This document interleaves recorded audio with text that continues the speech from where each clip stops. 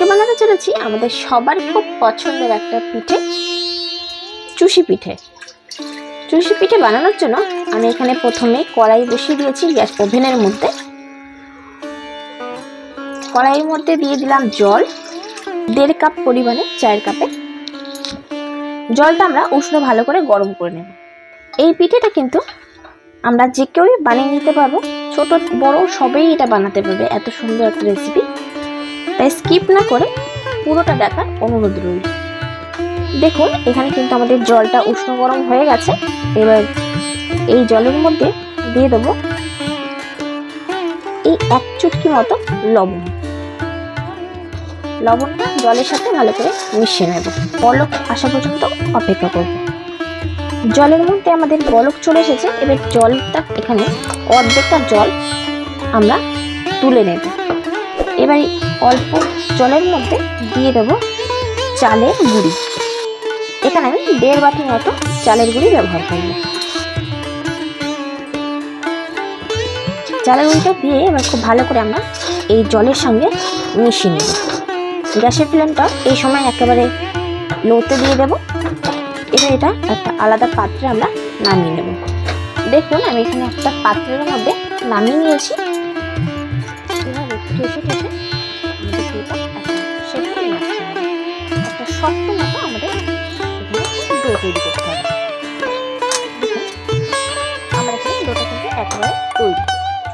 একটা জন্য। এবার এই ডোটা যাতে খুব বেশি ওপর থেকে শুকনো না হয়ে যায় কোনোরকমভাবে যাতে এটা একদম পারফেক্ট থাকে, তো সেই জন্য একটা সুতির ভেজা কাপড় এভাবে ভিজিয়ে নিয়ে এটার উপর দিয়ে ঢাকা দিয়ে রেখে দিতে হবে। এখানে একটা পাত বাটির মধ্যে শুকনো আমি গুঁড়ো নিয়েছি, চালের গুঁড়িটা। এটা সাইডে রেখে দেব। এবারে লুচিটা এভাবে। একটা চাকির মধ্যে নিয়ে এভাবে লম্বা করে সেই ছোটোবেলায় যেমন খেলা করতাম, আটা নিয়ে ঠিক তেমন। ঠিক তেমন করেই এভাবে লম্বা লম্বা করে নিয়ে একদম সরু সরু সুতোর মতো করে নিতে হবে। ঠিক এমন করে নিয়ে।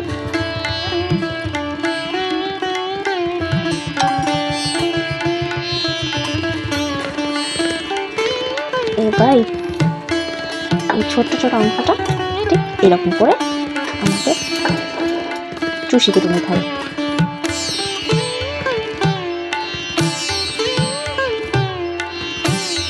ঠিক এভাবে করে সমস্ত পিঠেগুলো কিন্তু আমরা কেটে নেব। এবার একটা পাত্রের মধ্যে এভাবে হালকা করে শুকনো চালের গুঁড়িটা ছড়িয়ে নিতে হবে।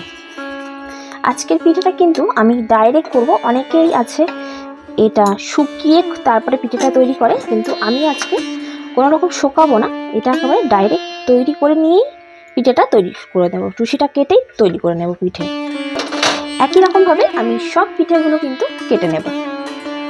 দেখুন, আমার এখানে একে একে আমি দেখুন সবটাই কিন্তু এখানে চুষিগুলো কেটে নিয়েছি। খুব সুন্দর করে একই রকম, একই সাইজ করে এখানে কেটে নিয়েছি। আর কতটা ঝরঝরে একদম সুন্দর হয়েছে দেখে আশা করি বুঝতে পারছেন। আমি এখানে অনেকটাই যেহেতু দেড় বাটির চালের গুঁড়ি মানে চুষি কেটেছি, তো এখানে অনেকটা হয়েছে পরিমাণে। তো এখানে আমি অর্ধেকটা এখন পিঠে করে দেখাবো, আর অর্ধেকটা কীভাবে আপনারা রেখে বানিয়ে পরে আবার পিঠা তৈরি করতে পারবেন সেটা আমি দেখিয়ে দেবো। এটা হচ্ছে অর্ধেকটা আমি শুকিয়ে রাখব। রোদের মধ্যে দুদিন সকালে পারে খুব সুন্দরভাবে শুকিয়ে যাবে, তারপর আপনারা স্টোর করে রেখে দিতে পারবেন। তাহলে পিঠে রেডি স্টার্ট করা যাক রেসিপিটি। পিঠে তৈরি করার জন্য গ্যাসের ওপর একটা পাত্র বসিয়ে দিচ্ছি। পাত্রের মধ্যে দিয়ে দিচ্ছি একটু জল, যাতে দুধটা দিলে পারে, দুধটা ছিটিয়ে না যায়। এখানে আমি লিকুইড মিল্ক ব্যবহার করছি। দুধটা আমাদের এখানে খুব ভালো করে জাল করে নিতে হবে। আমি আজকে পিঠের জন্য এক লিটার লিকুইড মিল্ক ব্যবহার করছি। জলের পরিমাণটা একেবারেই এখানে ব্যবহার করিনি, জলটা সামান্যই দিয়েছি। দুধটা যত গাঢ় হবে, পিঠেটা খেতে ততটাই টেস্ট হবে। আমাদের এখানে খুব ভালো করে ঘন করে দুধটা জাল দিয়ে নিতে হবে। দুধটার মধ্যে খুব সুন্দর যাতে একটা ফ্লেভার হয়, সেই জন্য এখানে আমরা দিয়ে দেব তিনটে ছোট এলাচ। এলাচ তিনটে মুখটা ফাটিয়ে দিয়েছি। এলাচটা দিয়েই আমরা খুব ভালো করে কিন্তু এখানে দুধটা জাল করে নেব। এক লিটার দুধকে প্রায় আটশো গ্রাম দুধে আমরা করে নেব দুধের মধ্যে বলক এসেছে খুব ভালো করে কিন্তু এখানে আমাদের দুধটা বলক করে নিতে হবে। যত ঘনভাবে দুধটা জাল দেব, ততই কিন্তু পিঠেটা খেতে স্বাদ হবে। দেখুন, খুব ভালো করে কিন্তু আমরা দুধটা বলক করে নিয়েছি। প্রায় এক লিটার দুধকে আমরা এখানে ফুটিয়ে ফুটিয়ে প্রায় আটশো গ্রামের মধ্যে নিয়ে এসেছি। এবার এর মধ্যে দিয়ে দেব মিষ্টি। মিষ্টির জন্য এখানে ব্যবহার করছি আমি খেজুরের গুড় দুশো গ্রাম মতো। আমার কাছে মিষ্টিটা এটাই পারফেক্ট মিষ্টিটা অবশ্যই আপনাদের আপনারা স্বাদ মতো ব্যবহার করবেন। এবার মিষ্টিটা দিয়েও খুব ভালো করে আমরা এখানে দুধটা জাল দেব। দুধের মধ্যে খুব সুন্দরভাবে আমাদের এখানে বলক এসে গেছে। এবার আমরা এর মধ্যে দিয়ে দেব যে চুষিটা আমরা কেটে রেখেছিলাম পিঠেটা। চুষি পিঠে সেটা আমরা এবার এই এক লিটার দুধকে আমরা আটশো গ্রামে করে নিয়েছি।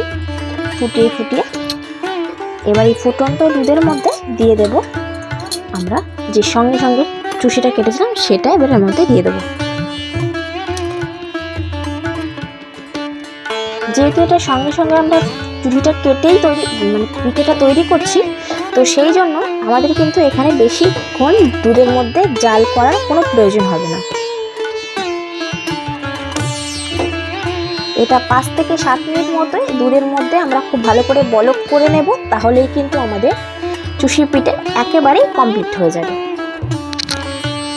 দেখুন, কি সুন্দরভাবে দুধের মধ্যে চুষিগুলো ফুটে মানে ভেসে উঠেছে।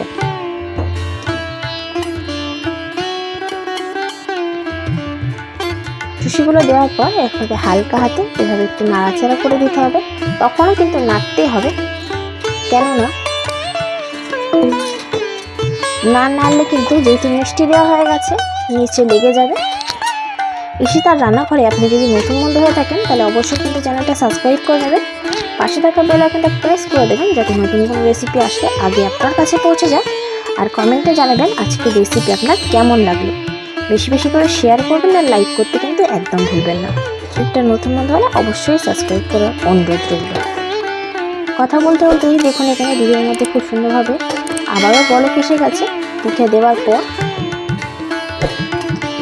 পিঠে দেওয়ার পর পিঠেটা আমাদের কমপ্লিট হয়ে গেছে কিনা সেটা চেক করে নেব। এভাবে একটু চামচের মধ্যে, হাতার মধ্যে তুলে নিয়েছি। এভাবে একটু জাস্ট চেক করে নিলে দেখুন পিঠেটা কিন্তু হয়ে গেছে। এবার আমাদের গ্যাসের ফ্লেমটা বন্ধ করে দিতে হবে।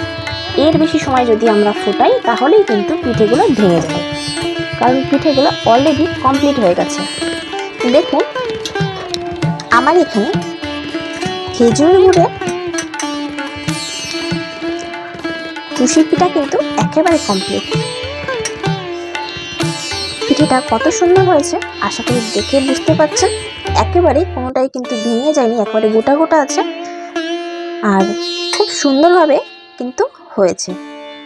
আশা করছি আমার রেসিপিটা আপনাদের ভালো লেগেছে, নলেন গুড়ের চুষি পিঠা। তো রেসিপিটি যদি ভালো লেগে থাকে কমেন্টে অবশ্যই জানাবেন।